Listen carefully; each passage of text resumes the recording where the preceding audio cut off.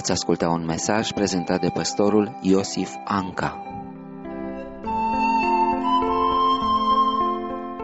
Binecuvântăm numele Domnului și vrem să fim recunoscători pentru mântuirea care ne-a fost oferită și pentru posibilitatea de a studia din Sfintele Scripturi.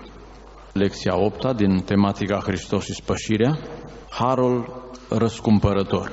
Dacă săptămâna trecută aminteam că în Vechiul Testament Dumnezeu pentru 4000 de ani a lăsat ca jerfele să fie soluția temporară pentru problema păcatului, problema pe care Dumnezeu niciodată n-a permis-o, de aceea i-a spus lui Adam, în ziua în care vei păcătui vei muri. Reacția lui Dumnezeu nu apare cu întârziere. Soluția adevărată a apărut aparent cu întârziere totuși la vremea potrivită, adică Domnul Hristos. Acum vom vorbi mai exact și cu preponderență despre lucrarea din Noul Testament a răscumpărării, lucrarea în dimensiunile Harului lui Dumnezeu. Pentru că recuperarea cosmosului, în tot ce el a fost afectat de păcat și în mod special unde Biblia ne dă detalii mai multe a omenirii căzute, dacă a presupus mai multe etape istorice, presupune și mai multe dimensiuni ale planului de mântuire. De exemplu, dacă a fost un copil al cuiva închis pentru niște fapte rele, dacă el ar fi eliberat, dar nu ar fi din nou integrat în familie, dacă nu i s-ar da posibilitatea să se reintegreze social, după eliberare, el ar fi ca un om în lumea aceasta care n-ar avea de cine să se alipească. Dacă fiul risipitor acasă a reprimit, era acceptat doar ca slugă, nu era lucrarea întreagă. De ce în această seară, în mod special, ne vom opri la diferite laturi ale lucrării de ispășire.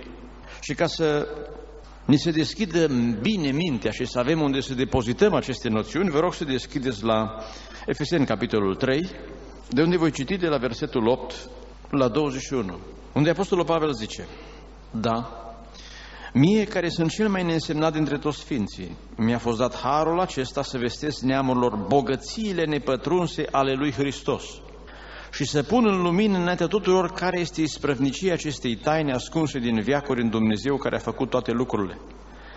Pentru ca domniile și stăpânirile din locurile cerești să cunoască aspre în biserică înțelepciunea nespus de felurite a lui Dumnezeu, după planul veșnic pe care l-a făcut în Hristos Iisus Domnul nostru. În El avem prin credința în El, slobozenia și apropierea de Dumnezeu cu încredere. Iată de ce îmi plec genunchii înainte Tatălui Domnului nostru Iisus Hristos, din care își trage numele orice familie în ceruri și pe pământ, și rog ca potrivit cu bogăția slavei sale, să vă facă să vă întăriți în putere prin Duhul lui în omul din lăuntru, așa încât Hristos să locuiască în inimile voastre prin credință, pentru ca având rădăcina și temelia pusă în dragoste, să puteți pricepe împreună cu toți sfinții care este lărgimea, lungimea, adâncimea și înălțimea. Și să cunoașteți dragostea lui Hristos, care întrece orice cunoștință, ca să ajungeți plin de toată plinătatea lui Dumnezeu, iar acelui ce prin puterea care lucrează în noi poate să facă nespus mai mult decât cere sau gândim noi, a Lui să fie slava în biserică și în Hristos Iisus din neam în neam în vecii vecilor. Amin. Iată cum Pavel vroia să le arate comorurile lui Dumnezeu, să le admire împreună cu îngerii și să dea slavă lui Dumnezeu pentru întreaga lucrare de mântuire. Răscumpărarea prin har a rezolvat toate, toate lucrurile. În Vechiul Testament, când s-a făcut numărătoare, pentru ca Dumnezeu să nu-i lovească, ei au trebuit să plătească un preț. Și mai târziu, în istoria lui Israel, chiar apare o pedeapsă mai drastică, fiindcă ei n-au plătit prețul ispășirii cu ocazia celei numărători din vremea lui David. Când vei socoti pe copilul Israel și le vei face numărătoarea, fiecare din ei să dea Domnului un dar în bani pentru răscumpărarea sufletului lui, ca să nu fie loviți de nicio orgie cu prilejul acestei numărători. Nu înțeleg în întregime sensul. De ce doar pentru o simplă trecere în revistă, o trecere la număr, trebuia plătit un preț. Altfel, erau nimiciți. Mă gândesc la acea femeie din Sarepta, care avea ea o idee când a zis lui Ilie, ai venit să-i aduci lui Dumnezeu aminte de mine. Ocazie cu care socotea ea că putea fi pedepsit. Nu știu, dar în mod normal, când ți amintești de cineva care este vinovat sau ți este dator, ți amintești și de datoria care o are la tine. Și când ei erau numărați, posibil ca Dumnezeu să aibă în față atât persoana cât și starea lui și ca să fie absolvit pe moment, s-a plătit un preț. Dar prețul sufletului este mult mai imens. De aceea spunem Psalmul 49 despre imposibilitatea bogaților de a oferi lui Dumnezeu prețul corect, echivalent al răscumpărării. Versetul 7. Dar nu pot să se răscumpere unul pe altul, nici să dea lui Dumnezeu prețul răscumpărării. Răscumpărarea sufletului lor este așa de scumpă că nu se va face niciodată în acele condiții și posibilități. Și vreau pe parcursul acestei lecții să constatăm și să cântărim cu exactitate cât de greu este păcatul. Ca să vedem cât de imens a fost prețul care a trebuit plătit pentru păcat. Că uneori dacă am socotit păcatul mai grav, mai greu, poate l-am comite mai cu reținere, am fi mai atenți. Amintiți-vă de Iosif care a spus soției lui Potifar, cum să fac un păcat atât de mare? Apoi spune cartea proverbelor că piatra este grea, nisipul este greu, dar supărarea care o pricinuiește nebun este mai grea decât amândouă. Dar cât este de greu, atât ca și greutate, cât ca daună morală, încât în acea pildă a iertării unul era considerat că datorea 10.000 de galbeni, o datorie imensă. Dacă ar fi să ne fie comutată pedeapsa noastră și să fim amendați, imaginați-vă că toată averea de pe pământ nu ar fi suficientă să plătească un singur suflet. A spus Mântuitorul ce ar folosi unui om să câștige toată lumea. Discuția n-a fost expre în ideea asta, dar este la fel de valabilă și compatibilă. Chiar dacă un om ar avea toată lumea a lui, de fapt ce să-i plătească lui Dumnezeu? Că Adam era numai el cu Eva, dar ce să-i plătească? Că ei stăteau pe chirie la Dumnezeu în rai. Omul nu are nimic cu ce să echivaleze. Dumnezeu a făcut totul, absolut totul. Și dacă omul respinge pe Dumnezeu, pierde totul.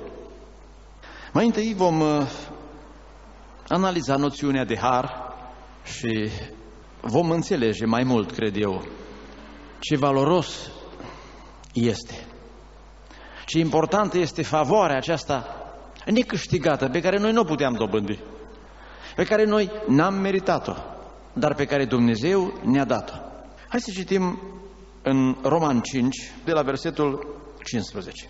Dar cu darul fără plată nu este ca și cu greșeala, căci dacă prin greșeala unuia singur, Adam, cei mulți au fost loviți cu moartea, adică toate generațiile care au urmat. Apoi cu mult mai mult harul lui Dumnezeu și darul pe care ne l-a făcut harul acesta într-un singur om, adică în Isus Hristos, s-au dat din belșug celor mulți.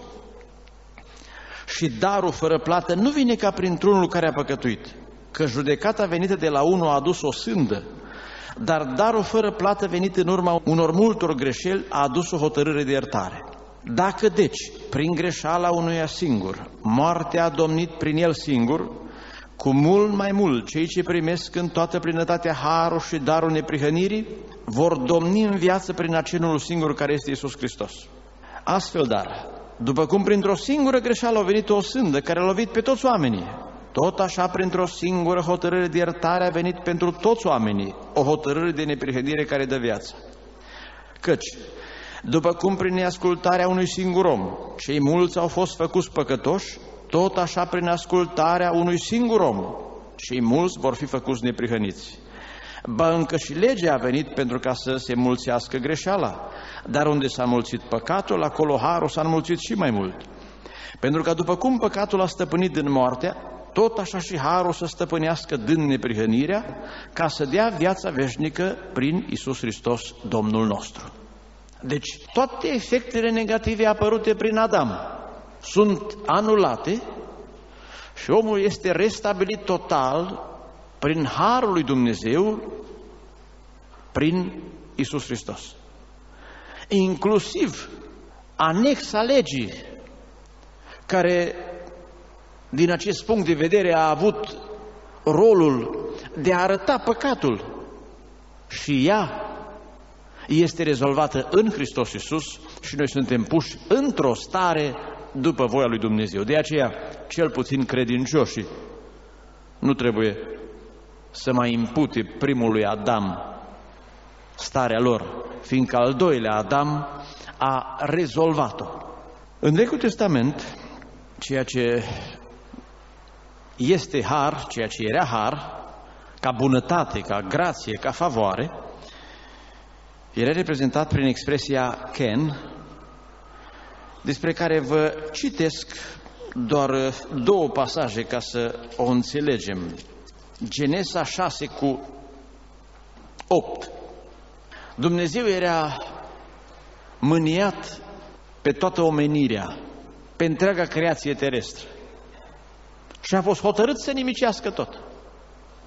Noe, scrie aici în versetul 8, a căpătat milă. Este expresia de bunătate, de favoare, de grațiere înaintea Domnului. Și prin har, Noe a fost salvat în corabie. Deschidem și la Exod, capitolul 33, unde vedem harul pentru întreaga națiune evreiască. Amintiți-vă de felul în care Dumnezeu i-a scos, de atitudinea lor. Versetele 12 și 13. Moise a zis Domnului, iată, tu îmi zici, du pe poporul acesta. Și nu mi-arăs pe cine vei trimite cu mine Însă tu ai zis, eu te cunosc pe nume și ai căpătat trecere înaintea mea. Acum, dacă am căpătat trecere înaintea ta, dacă am avut har, arată-mi căile tale, atunci te voi cunoaște și voi avea trecere înaintea ta.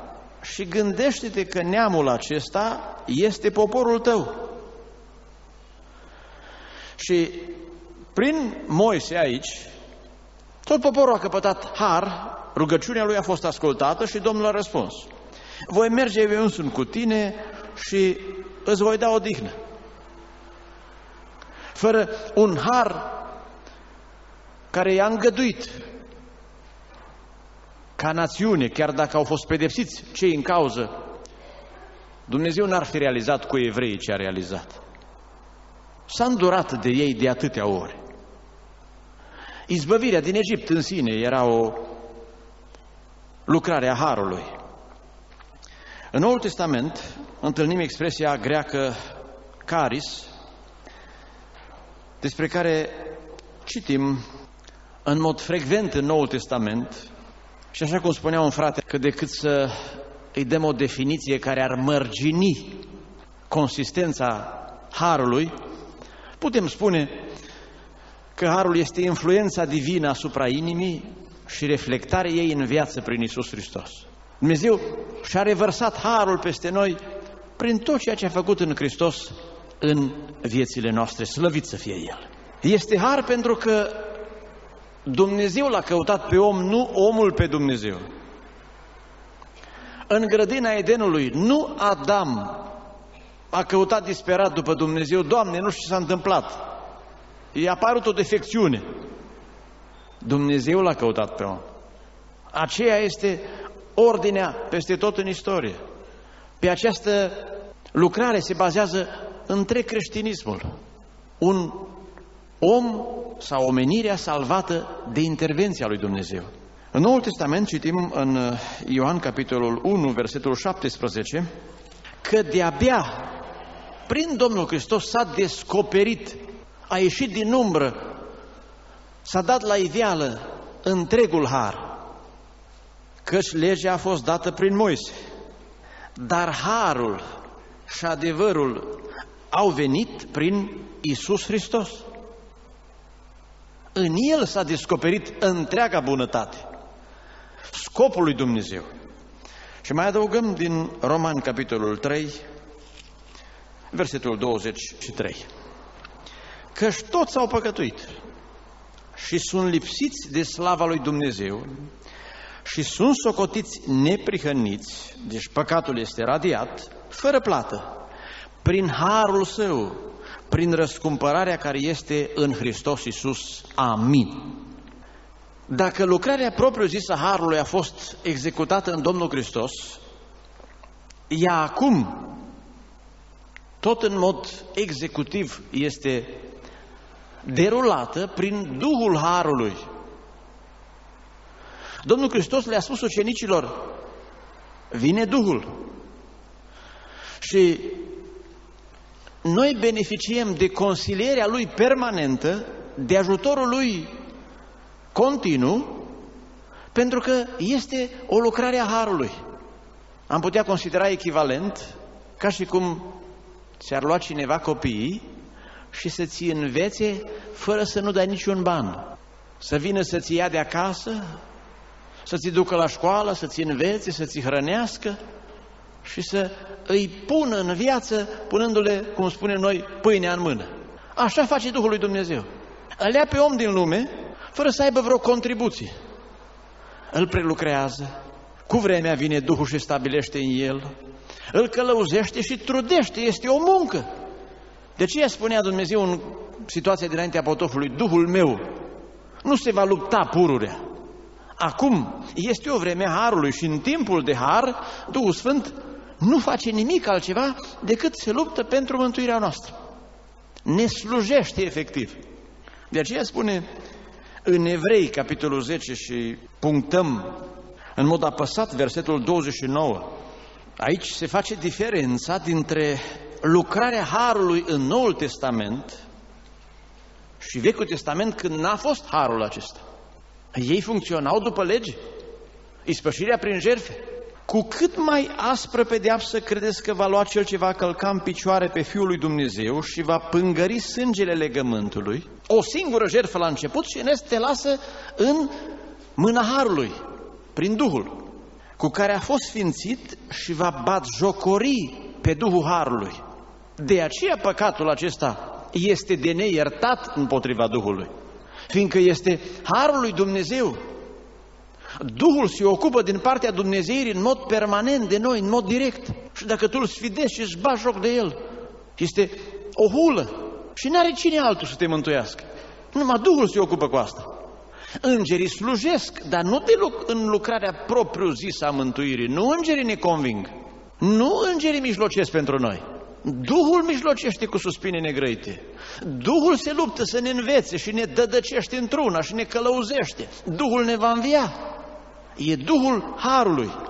De aceea, mare atenție în vremea de Har. Și Cartea Evrei, în mod special, punctează atenționarea aceasta. Atenție sporită. Dacă în Vechiul Testament, la niște condiții mult mai slabe, oamenii erau pedepsiți, în Noul Testament, la niște condiții totale, puse la dispoziție prin Duhul Harului, dacă nu te încadrezi și îți bați joc de lucrarea lui Dumnezeu, prin neascultare, că nu trebuie altceva mai grav. Că neascultarea e tot atât de vinovată ca cele mai grave lucrări demonici. Ți-ai pierdut orice drept. De aceea citim din capitolul 12, versetul 25. Luați seama că nu cumva să nu voi să ascultați de cel ce vă vorbește. Căci dacă n-au scăpat cei ce n-au vrut să asculte de cel ce vorbea pe pământ, cu atât mai mult nu vom scăpa noi dacă ne întoarcem de la cel ce ne vorbește din ceruri. Luați seama, uitați-vă în versetul 12, aceeași atenționare.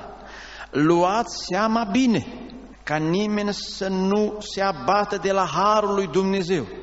Și citim apoi din Iuda 4 și 5, că s-au strecurat printre voi unii oameni, scriși de mult pentru o sânda aceasta, oameni neevlavioși. Și aici fac o paranteză. Orice lipsă de evlavie este o nerămânere în ambianța Duhului Harului, care schimbă în desfrânare Harul Dumnezeului nostru și tăgăduiesc pe singurul nostru stăpân și Domn Iisus Hristos. Vreau să vă aduc aminte Măcar că știți odată pentru totdeauna toate aceste lucruri, că Domnul, după ce a izbăvit pe poporul său din țara Egiptului, în urmă a nimicit pe cei ce n-au crezut, deși a izbăvit întâi. Poate beneficia cineva de sângele ispășirii, ca evrei în Egipt când l-au avut pe uși, să treci Marea Roșie, să treci prin botez? Dar dacă nu crezi când Duhul Sfânt încearcă să-ți imprime cuvântul, ajungi nimicit. De aceea, voi mai citi două versete din Faptele Apostolilor. La începutul credinței se punea mare accent pe a stărui în har și a rămânea în har. Noi, după ce ne pocăim, putem să greșim, de exemplu. Harul vine și te recuperează. Imediat te face conștient că ai greșit, își ceri iertare și ești recuperat, ești pus în drepturi. Este lucrarea permanentă a Harului. Dar dacă sfidezi astăzi puțin, mâine puțin, Duhul Sfânt se întristează. Dacă dădeam exemplu cu profesorul care te învață și te meditează suplimentar, dacă nu-l asculți și chiar în fața lui tu nu scrii, ce va spune părinților tăi într-o zi? Eu nu mai învăț pe copilul acesta. Degeaba mă plătiți voi să-l învăț. Eu nu vreau să înveți.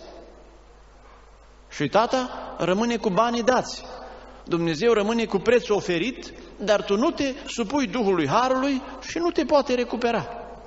Scrie aici, în fapte 4 cu 33 mai întâi, apostolii mărturiseau cu multă putere despre învierea Domnului Isus și un mare har era peste toți. Erau oameni veniți din lume, de toate stările. Era un har care le permitea să rămână aproape de Dumnezeu. Asta în Ierusalim, unde s-a pus bazele. Și acum vă citesc un verset, 11 cu 23, din zona de misiune, Antiohia. Când a ajuns el, adică Barnaba, și a văzut harul lui Dumnezeu, s-a bucurat și a îndemnat pe toți să rămână cu inima hotărâtă, alipiți de Domnul. Să rămână în acest har. 13 cu 43. Și după ce s-a împrăștiat adunarea, mulți din iudei și din prozeliții evlavioși au mers după Pavel și Barnaba, care stăteau de vorbă cu ei și îndemnau să stăruiască în harul lui Dumnezeu. Deci noi beneficiem de niște condiții speciale, cu totul și cu totul favorabile. E lucrarea Duhului Harului în vremea de Har. Vom privi acum la răscumpărare. Expresia aceasta în Vechiul Testament avea un înțeles foarte profund, era de o valoare mare. Amintesc doar ca idee expresia ebraică mai întâi și apoi cea greacă, dar ne interesează mai mult ce înseamnă în mod uh, substanțial. Expresia gahal se folosea la răscumpărarea prin ruda apropiată. Când cineva, pe motive de sărăcie, se vindea sau era vândut rob, ar fi trebuit să rămână rob dacă era evreu până în anul al șaptelea, dar averea lui rămânea în posesia noilor proprietari până în anul al 50 Dar dacă el putea să facă rost de bani ca rob, puțin probabil, mai degrabă altă rudenie mai bogată, plătea înapoi omului cu cât a cumpărat-o și putea să dea fratelui lui înapoi moșia și să fie și el stăpân de pământ, nu sclav la altul. Citesc un verset în ideea aceasta din Isaia 44. Așa vorbește Domnul împăratul lui Israel și răscumpărătorul lui, Domnul oștirilor. Eu sunt cel din tâi și cel de pe urmă. Afară de mine nu este alt Dumnezeu. Nu uitați că evreii au primit o țară care nu era a lor, să știe că Dumnezeu le-a dat-o și pedeapsa cea mai gravă pentru ei când au păcătuit a fost vă scot din țară. Și Dumnezeu, ca drept de răscumpărare să-și intre iar în posesia pământului, a zis, eu pot să mă îndur de voi, că am fost cel din tâi care v-am dat țara și sunt și cel din urmă, pot să vă dau iar. Dar dacă eu nu cumpăr țara pentru voi, nu are cine să vă dea. Nu este altul în puterea aceasta. Altă expresie, pad dah, însemna eliberare. Și o întâlnim în Deuteronom, capitolul 9, când Moise vorbește despre eliberarea lor din Egipt. Amintiți-vă că ei au ieșit cu un preț de sânge. Au fost răscumpărați. M-am rugat Domnului și am zis, Stăpâne, Doamne, nu nimici pe poporul tău moștenirea ta pe care ai răscumpărat-o. În locul lor au murit miei la ieșirea din Egipt. În mărimea ta pe care ai scos-o din Egipt prin mâna ta cea puternică. Dar mielul pascal era de fapt Domnul Hristos.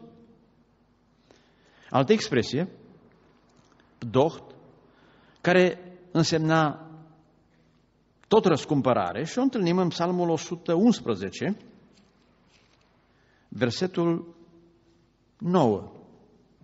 A trimis poporului său izbăvirea, a așezat legământul său în veci, numele lui este sfânt și înfricoșat. Amintiți-vă de câte ori a mai răscumpărat după aceea, de-a lungul istoriei, din mâinile poporilor cananite, de exemplu. Și încă una, Pah-Rac, tot în Psalm 136, versetul 24, tot cu înțeles de a rupe, a elibera, și ne-a izbăvit de asupritorii noștri, căci în viac ține îndurarea Lui. În Noul Testament sunt mai multe expresii, în greacă de data aceasta, lutreo, deschideți la 1 Petru, capitolul 1, versetele 18 și 19, care se referă la prețul de răscumpărare. S-a plătit un preț, o valoare. Că știți că nu cu lucruri pieritoare, cu argint sau cu aur ați fost răscumpărați din felul de șer de viețuire pe care îl moșteniseră de la părinții voștri, ci cu sângele scump. Deci are valoarea de sfânt, dar are valoarea de scump. Cât de scump? Cât e o viață de Dumnezeu? E sângele celui care vine din Dumnezeire. Sângele unui om are valoarea omului în sine, dar sângele divin are valoare divină. Dumnezeu este mai valoros decât cosmosul. Domnul Hristos a participat la crearea cosmosului. Cât de valoros este sângele Lui. Mielul fără cusur și fără prihan. El a fost cunoscut mai înainte în temerea lumii și a fost arătat la sfârșitul vremurilor pentru voi. Altă expresie, apolutrosis, care se referă la altul com, actul complet al răscumpărării. Întreaga procedură. Citesc 1 Corinteni 1 cu 30. Și aici trebuie să ne imaginăm toată lucrarea de ispășire, de la întrupare până la revenirea în glorie. Și voi prin El sunteți în Hristos Iisus, El a fost făcut de Dumnezeu pentru noi, înțelepciune, neprihănire, sfințire și răscumpărare. Ca și cum pentru o anumită lucrare îți trebuie un dosar întreg. O anumită fișă care să cuprindă planul, alta cu o cerere, cu un aviz. Întregul act al răscumpărării a cuprins toate acțiunile, toate lucrările pe care Domnul le-a făcut. Biruința care a dat-o prin moarte, lucrările care le-a săvârșit în cer pentru noi și despre care am vorbit.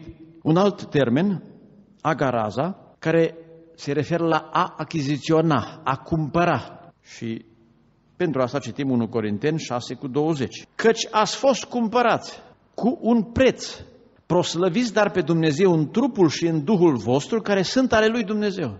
Dacă am înțelege, și numai atâta. Nu mai aparține nimic din mine, nu mai aparține mie. Au fost cumpărate. Și perioada sclaviei parcă făcea mai pregnantă ideea aceasta. Dar acum, cu ideea unei libertăți, poate mai greu înțelegem. De aceea Pavel se numea pe sine rob.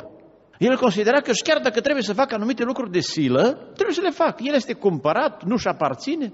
Dumnezeu are drept peste viața lui, are drept peste el dacă vrea să-l omoare, să se piardă. Duhul și trupul nostru sunt ale lui Dumnezeu, sunt cumpărate. Prețul acela mare de care am vorbit a cumpărat toate sufletele. Și o altă expresie, exagorzao, care înseamnă a salva de la pierdere.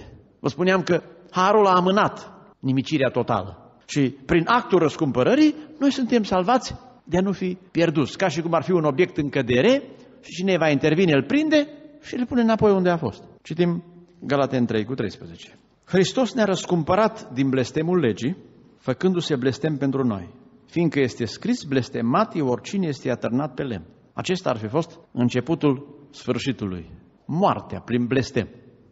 Dar noi am fost recuperați. Răscumpărarea este actul scoaterii din sclavia păcatului, cu prețul judecății prin ispășire. Cea mai cruntă robie este robia păcatului. Omul în condiția de păcătos vrea să scape și este robul lui însuși. robul patimilor care sunt în el. Ești sclavul tău, că nimic n-ar putea fi mai crunt decât atât. Să te chinui tu pe tine, să te autoflagelezi și asta în permanență. Răscumpărarea te eliberează.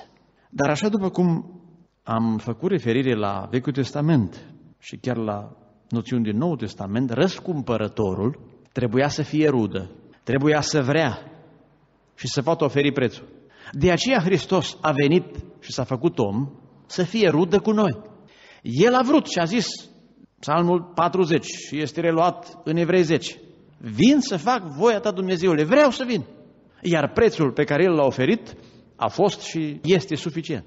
Să citim doar din Evrei 2, de la versetul 11. Căci cel ce sfințește și cei ce sunt sfințiți sunt dintr-unul. De aceea lui nu este rușine să-i numească frați. Când zice, voi vesti numele tău fraților mei, îți voi cânta lauda în mijlocul adunării. Și iarăși îmi voi pune încrederea în el și în alt loc, iată-mă eu și copiii pe care mi-a dat Dumnezeu.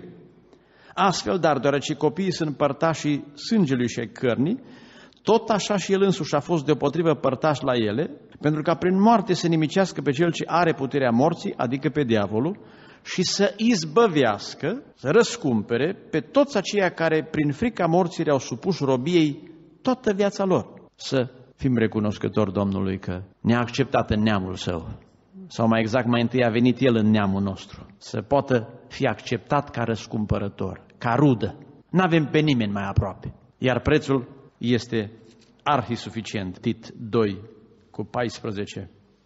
El s-a dat pe sine însuși pentru noi, ca să ne răscumpere din orice fără de lege și să-și curățească un norod care să fie al lui, plin de râvnă pentru fapte bune. Ne-a răscumpărat, cum am citit deja în Galaten 3 cu 13, de sub blestemul legii. Legea ne condamna fără niciun drept de apel. În legea lui Dumnezeu, nicăieri în Vechiul Testament, Dumnezeu n-a admis recurs. Legea te omora fără milă, nu era clemență, pe mărturia martorilor. Apoi ne-a răscumpărat de sub dominația întunericului. Oamenii erau subordonați diavolului, prin cădere, prin ascultarea aceea din Eden, odată cu provocarea adusă de șarpele. Iată ce scrie în Coloseni 1 cu 13 și 14. El ne-a izbăvit de sub puterea întunericului. Și asta a fost mai groasnică decât robia egipteană. Și a îngăduit Dumnezeu acolo a fost doar o imagine ca să înțeleagă oamenii că diavolul chinuiește oamenii fără niciun pic de milă și ne-a strămutat în împărăția Fiului dragostei Lui. Deci de la chin fără milă la dragoste fără margini, în care avem răscumpărarea prin sângele Lui, iertarea păcatelor. Și de asemenea ne-a izbăvit de moartea a doua, ne-a răscumpărat din iazul de foc, Momentan este răscumpărat Duhul și la înviere se așteaptă răscumpărarea trupului.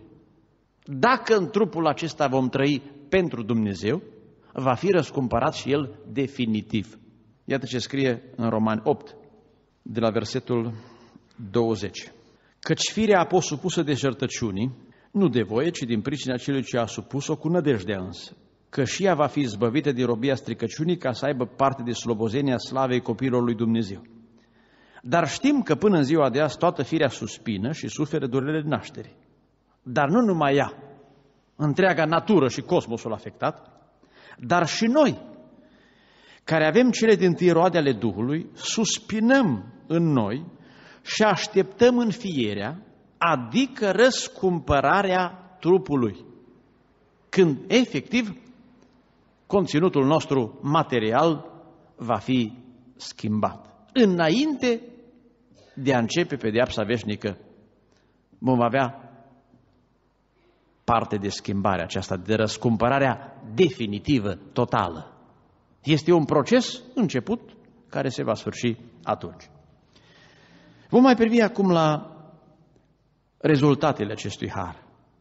Vreau să nu uităm măcar că este simplu și de înțeles substituirea care a avut loc. Noi am fost puși în locul Domnului Hristos și El a fost pus în locul nostru. Eu am știut o întâmplare între doi frați care s-au substituit înaintea morții unuia, dar acum recent am uh, citit-o cu date concrete. E vorba de doi copii rămași orfani într-o familie din Brazilia. Unul a fost înfiat de o familie, celălalt de alta. Unul înfiat de niște americani a ajuns un patron, un om prosper, celălalt a ajuns un om al păcatului, al violenței și își aștepta în închisoare condamnarea la moarte. Într-o zi a căzut sub ochi fratelui său prosper ziarul care preciza numele celui condamnat. O scântere în minte l-a făcut să facă apel la sorgintea lor și mergând pe urme cu relațiile care le-a avut, a ajuns la fratele lui în închisoare. Prima dată când i-a vorbit, nici n-a vrut să comunice cu el. Și a cerut penitenciarului să-i dea vreo șapte posibilități de întâlnire. La a doua întâlnire, deja a devenit atent. Și până la ultima întâlnire, l-a convins să lase cu anumite modificări artificiale, estetice, să iasă cel condamnat din închisoare și cel nevinovat să moară acolo, fiindcă el era credincios. Omul acesta a făcut-o, fiindcă a învățat de la Domnul Hristos. Dar asta a fost doar o șansă ca și fratele lui să-l întâlnească pe Domnul. Să nu înțeleagă cineva că un asemenea om a făcut un lucru echivalent cu Domnului Hristos. Dar o substituire pentru viața de aici. El a zis, eu sunt credincios, sunt mântuit. Și am citit uh, continuarea relatării, cum că acest uh, fost deținut a ajuns la casa patronilor care îl înfiaseră și cu ajutorul unor consilieri a reușit să se ridice și să poarte afacerile fratelui său. Dacă așa au învățat unii oameni să se sacrifice, știți că și Pavel a avut un gând, aproape că vreau să fiu eu, a fost mult mai înalt gândul. Nu doar aici, să moară aici ar fi fost gata oricând. A zis, voi cheltui bucuros dintre ale mele, numai voi să le aveți. El se gândea stil Moise. Doamne, ce-ar fi să mă pedepsești pe mine și să ierți pe ei? N-a acceptat Dumnezeu nici în Vechiul Testament, nici în Noul Testament una ca asta. Dar un sacrificiu ca acesta este o imagine oarecare a ceea ce a făcut Domnul pentru noi. Amintiți-vă de momentul în care Avram cu Isaac erau pe munte. Și Dumnezeu l-a oprit. Nu-l sacrifica pe Isaac. Și când s-a uitat, un berbece. Imaginea este foarte complexă.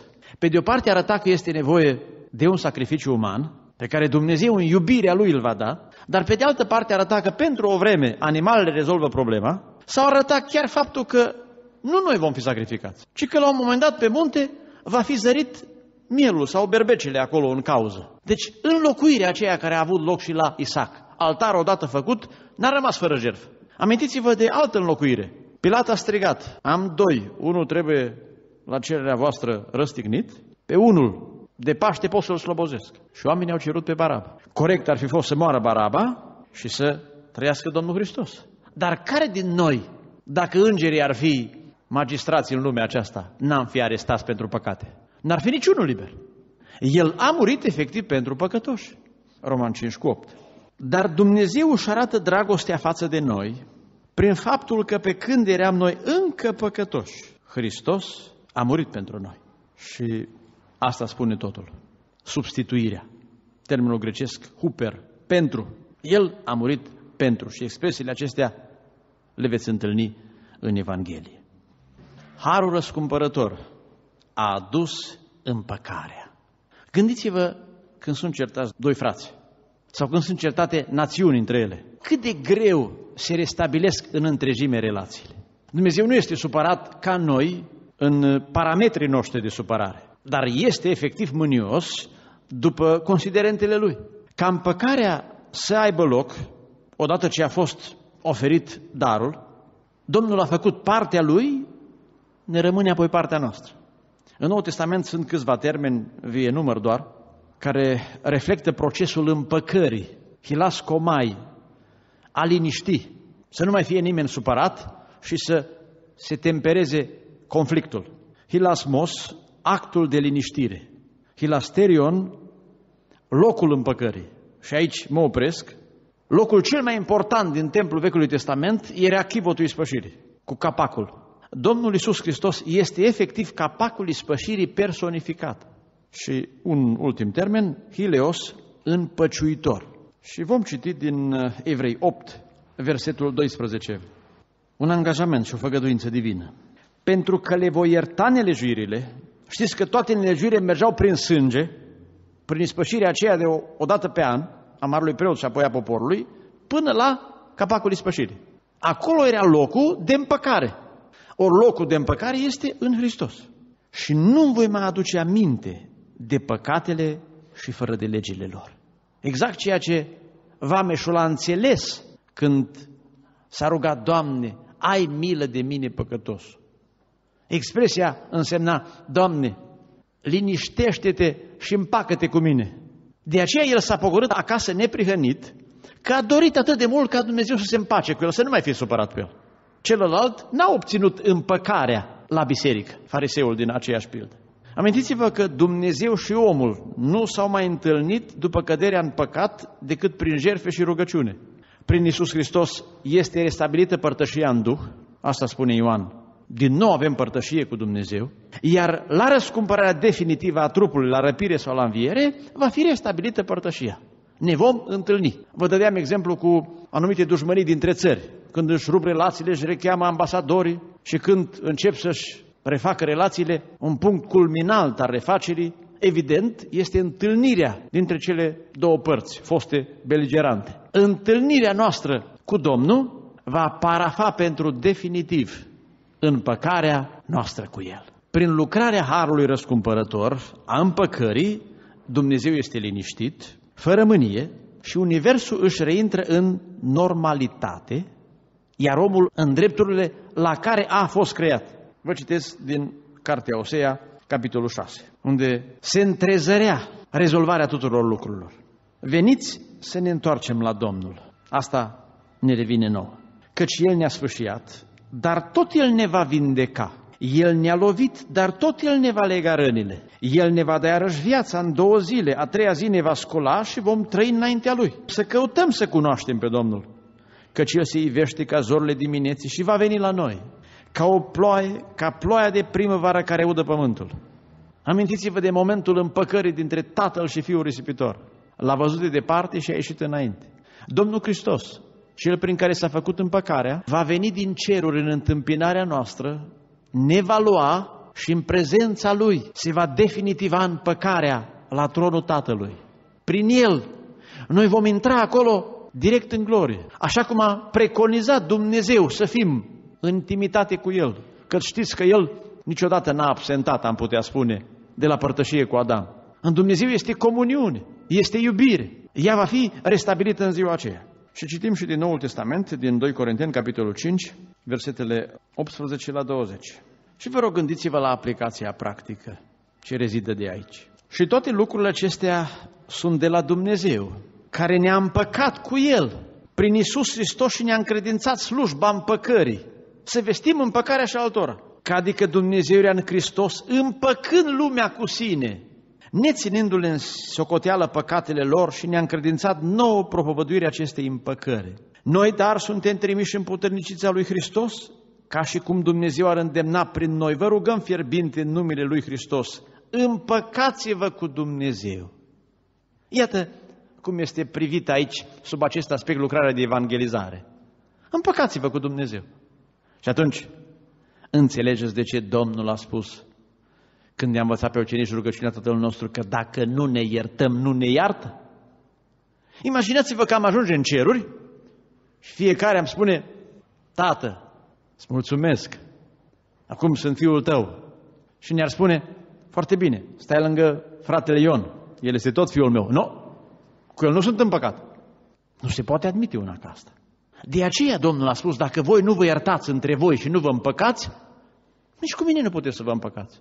Dumnezeu nu ar admite dezbinări în ceruri. El se împacă cu noi din propria lui inițiativă, n-ar trebui să ne împăcăm și noi cu alții din propria noastră inițiativă? Cum s-a împăcat Dumnezeu cu noi? Versetul 19. Ne ținându-le în socoteală păcatele. Ea nu le ținea în socoteală păcatele celor de lângă tine. Se vezi ce ușor te împaci cu ei. Pornește cu inițiativa de la tine te împaci după modelul lui Dumnezeu. Doamne, ajută-ne! Și închei cu ceea ce am numit imnul răscumpărării. Deschideți la Psalmul 107, de la versetul 1. Lăudați pe Domnul căci este bun, căci în viac ține îndurarea lui. Este o profeție pentru veșnicie. Evreii au murit. Pentru ei favorurile au fost vremelnice. Așa să zică cei răscumpărați de Domnul pe care i-a izbăvit El din mâna vrăjmașului și pe care i-a strâns din toate țările de la răsărit și de la apus, de la miază noapte și de la mare. Versetul 8. O, de-ar lăuda oamenii pe Domnul pentru bunătatea Lui și pentru minunile Lui față de fiii oamenilor.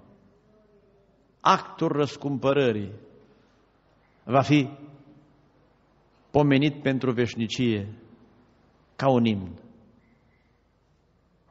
Dacă numai pentru o mie de ani ar mântui Dumnezeu, o mie de ani am cântat imnul. Lăudați pe Domnul că ne-a dat o mie de ani. Dar dacă ne va da o veșnicie, imnul se va prelungi. O, de a lăuda aici sau încă de aici, acolo sigur vom fi conștienți. Dar încă de aici trebuie să ne lăudăm cu eroul nostru și să fim tot timpul fericiți de lucrarea aceasta de răscumpărare, executată în Domnul Isus Hristos. Și mai adaug din cartea Apocalipsei, din capitolul 16, unde lucrarea răscumpărării este asociată cu pedepsirea dușmanilor. Nu a fost așa și la eliberarea din Egipt? În timp ce Dumnezeu proceda la eliberarea lor, zdrobea Egiptul. Și în final, i-a nimicit pe luptători în frunte cu faraon. În timp ce Dumnezeu ne răscumpără pe noi și ne eliberează, zdrobește puterea întunericului. Sunt lupte după lupte. Iar în final va fi zdrobit diavolul cu toți mai mari lui. O parte din duhuri sunt deja anihilate, sunt în lanțuri. Ultimele efective vor fi în final. Iată ce scrie la capitolul 16, versetul 4. Al treilea înger a vărsat potirul lui în râuri și în izvoarele apelor și apele s-au făcut sânge.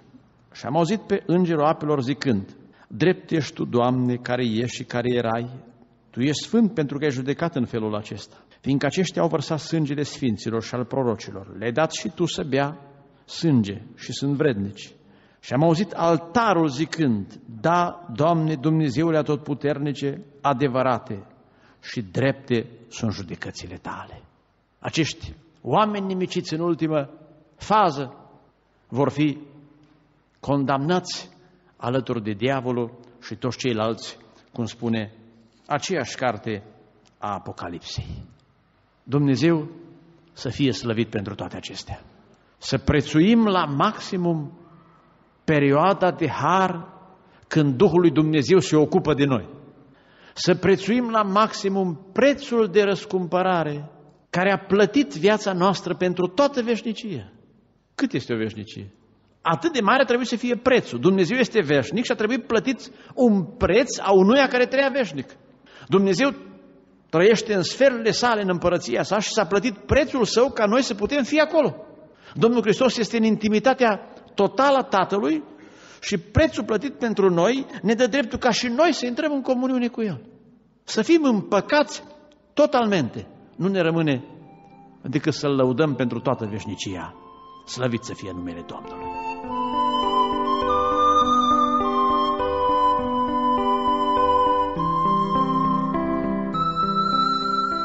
Ați ascultat un mesaj prezentat de pastorul Iosif Anca.